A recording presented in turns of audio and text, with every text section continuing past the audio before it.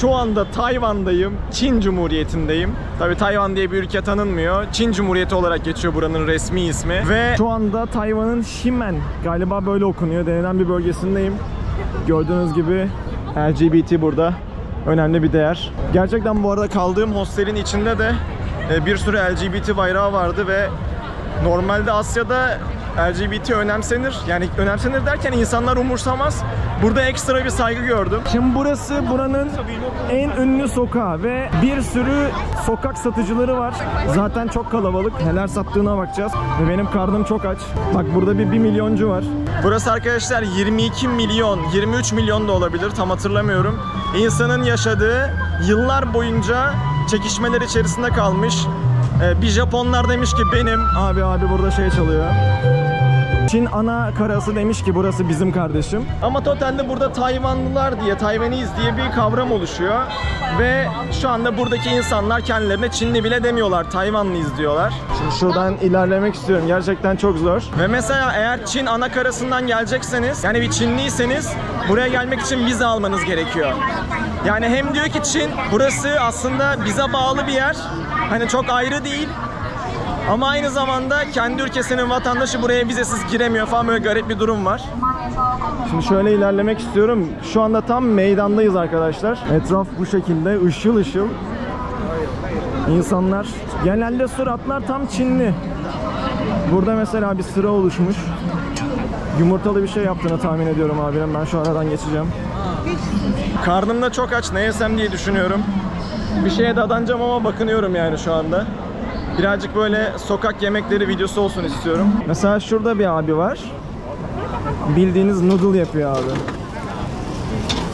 Yani normal hazır noodle'ı alıyor. De bunun için beklemem ya. 20 dolar, 20 Tayvan doları. Ne kadardı? 100 Tayvan doları 33 dolar mı ne öyle bir şey yapıyor. Tam kuru bilmiyorum ben yazacağım buraya. Yani sokak yemeklerin ucuz olduğunu düşünüyorum. Bu arada Tayvan olduğundan beri yani Tayvan doları kullanıyorlarmış. Sonradan geçiren bir şey de burası çok güzel kokuyor lan. Buradan yiyebilirim. Ne kadarmış? 45 falan da. Ha, bu Vietnam yemi... Yok Vietnamca yazıyor ama. Anlamadım. Bilemiyorum. Ama çok güzel kokuyordu. Oradan yenebilir. Burada meyveci var. Çilekler melekler. Çilek alabiliriz ya. Dur direkt kadının dükkanına hallendik anasını satayım. Kızlar da bakıyor direkt elime atacaktım. How much this? 30? Ha, 80. Okay, okay, okay. Şunu alayım ben.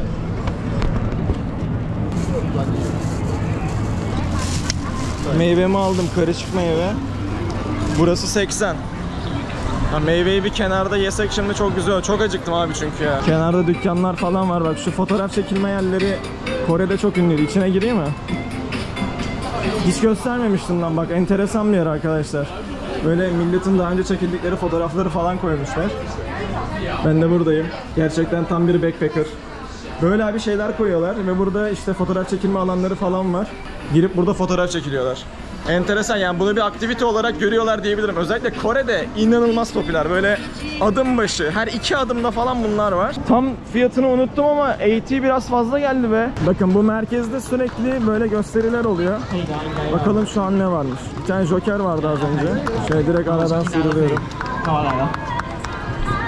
Toplu falan bir gösteri yapacak herhalde. Bana çok dümenden geldi.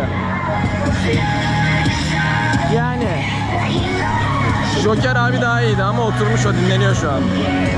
Devam edelim. Ben de meyvemi gömüyorum bir yandan. Kel abinin kafaya şaplak. Burada kestaneci abla var. Kestaneler. Abla. abla diyor ne diyor bu amına? İleride bir şeyin sırası var. Ne var diye gidiyorum. Oğlum yine meyve. Meyvenin sırası mı olur ya? Bu da böyle bir yemek arkadaşlar. Enteresan. Tayvan yemeği olduğunu tahmin ediyorum. Ha dayılar şunu izliyor. Bu bildiğin sokak yemeği.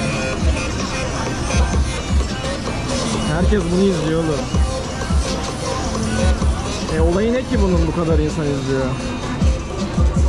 Bu kadar insanın izlemesini gerektiren bir şey yaşanmıyor bence şu an burada ama.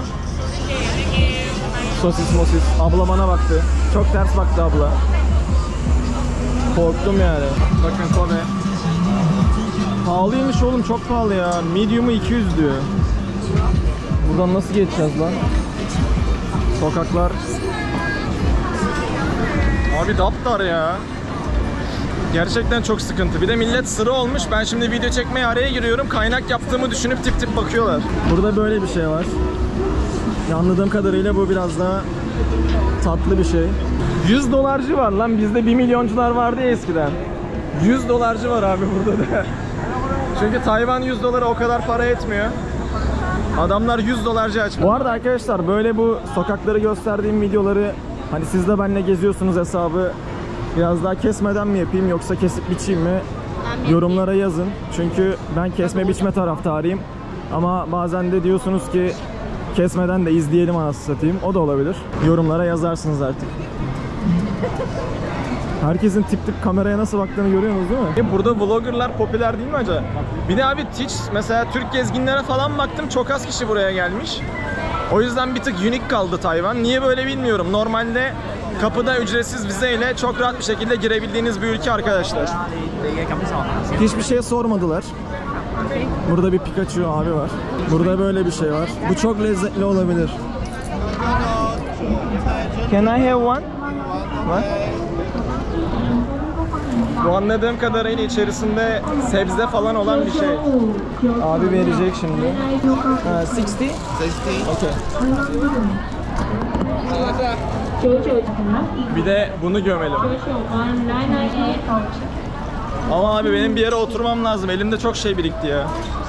Nereye çömeceğim? Oturmaya hiçbir yer yapmamışlar. Bir sürü yemek yeme alanı falan filan var ama oturmak için hiçbir yer yok. Bak millet köşeye çökmüş abi. Ben de şu köşeye çöksem ne olur? Uzat, uzat mi buradan? Ben şu köşeye çekiyorum abi. Bir oturmam lazım yani. Tamam. Şimdi şunları bir gömek. La kardeş. Kamerayı oraya koysam bence olur lan. Vallahi çok güzel oldu. Açık falan.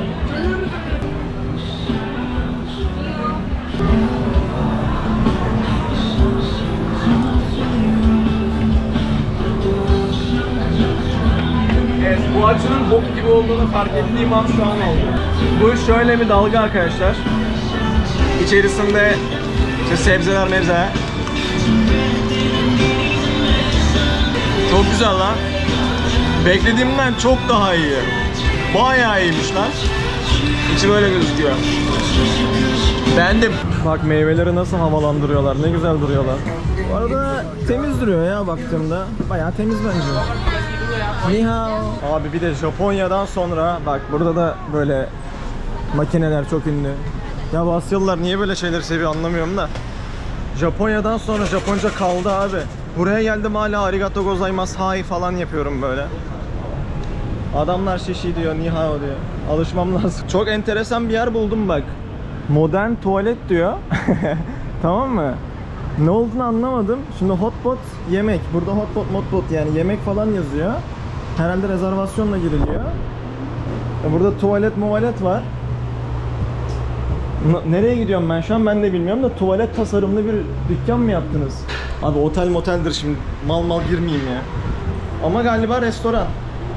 Gördüğünüz gibi muhtemelen klozetin içinden yemek yeme gibi bir durum var abi. Ara sokaklar da böyle. Çok ara sokağa benzemiyor. Arkadaşlar dünyanın en güvenli ülkelerinden birindeyiz. Belki birincisi olabilir yani. Özellikle kadınlar için e, en güvenlisi olabilir. Abi tamam benim mevzuya geldik. Ben bundan yemek istiyordum. Buldum ya. 40 dolar. 60 da hangisi bilmiyorum. Zaten Çince yazıyor her yerde. Ama böyle çileği bir şeyle batırıyorlar. Can I have one? Oğlum bu ne lan?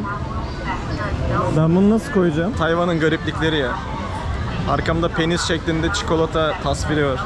Niye böyle bir şey yapmışlar bilmiyorum. Evet mevzuyu çözdüm böyle bir şey. Ama şu kırmızı şeyin ne olduğunu anlamadım. Kesin. Çileğe benzemiyor. Deniyorum.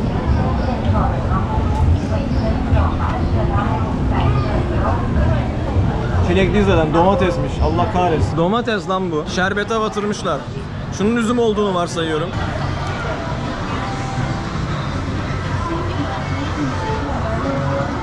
Ha bak bu çok güzel. Bu üzüm. Domatesli de yani üzmedi bence. Beklediğimden daha iyi. Aa.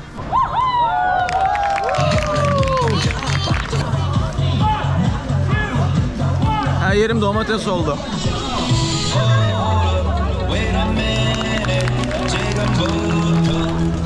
Kimse alkışlamadı çocuğa üzüldüm. Ya oğlum Allah kahretsin ya. Yine domates çok saçma bir fikir değil mi sizce de? Şimdi bir gaza gelmeye başladı seyirci. Helallah kardeş. Helallah kardeş. Oğlum ben bu ben bunu birine batıracağım anasını satayım. Elimde mal mal tutuyorum. Neyse bu da böyle bir hikaye. Bak az önce yediğimin aynısı burada da var. Adam çilekli halini yapmış daha mantıklı. Ya hayır domates de vardı. Demek ki domates... Ya burada zaten domatesi meyve diye tüketiyorlar abi. Lan çöp yok ya. Mınak koyayım. Dayı niye alıyorsunuz çöpleri? Elimde za- yani tehlikeli bir maddeyle kaldım. Şimdi akşam yemeği yemeye güzel bir steakçiye geldim. Yaklaşık 10 dolara güzel bir şeyler yiyeceğim. Bunlar da bedavaymış. Bunlardan alacağım. Sınırsız. Ee, ortam böyle. Yine aynı yerdeyim. Bakalım steak nasıl olacak. Evet abi bu nükleer gibi geldi. Üzerinde hala yağlar patlıyor. Yanımda adamlar vardı kalktılar gittiler bu gelince. Bayağı büyük bir et. Ee, bu 300 Tayvan doları mıydı? 400 Tayvan doları mı öyle bir şeydi. İşte çorbası, ekmeği, içeceği. İşte portakal suyu aldım ben. Bunlar da bedava ve sınırsız. Bayağı güzel büyük gözüküyor. Gömek. Bu arada belki hatırlayanlarınız vardır. Bir ara vejetaryen falan takılıyordum. Ondan eser yok arkadaşlar. Spora başladıktan sonra o işler dümen oldu yani. Böyle gözüküyor. Oğlum dumandan ben yokum lan.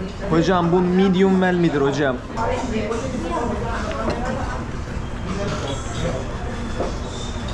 Abi et güzel de etin içine suyu basmışlar. O yüzden zaten böyle dolu dolu büyük gözüküyor. Ama neyse bence fiyatına göre okey ya. Türkiye'de et fiyatları zaten malum arkadaşlar. Bugün de proteini böyle alıyoruz. Afiyet olsun.